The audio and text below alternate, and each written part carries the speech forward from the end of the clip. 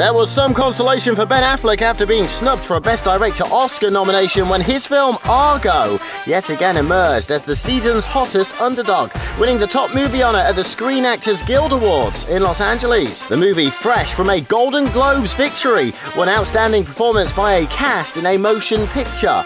Oscar frontrunners Daniel Day Lewis, Anne Hathaway, and Jennifer Lawrence also continued their winning streak. Pneumonia stricken Lawrence won outstanding performance by a lead actress for Silver Linings Playbook, while Lincoln was one of the main winners on the night, with Daniel Day Lewis taking home the Best Actor gong. Anne Hathaway won the Best Supporting Actress award for playing prostitute Fantine in the film adaptation of the musical Les Miserables. On the small screen, Downton Abbey and Modern Family were the big winners in the drama and comedy categories, while comedy series 30 Rock won two top gongs. Claire Danes won Best Drama Actress for Homeland, and Best TV Drama Actor went to Cranston for Breaking Bad. Looks like Iran hostage drama Argo is certainly delivering the warning that it could take the Best Picture Oscar.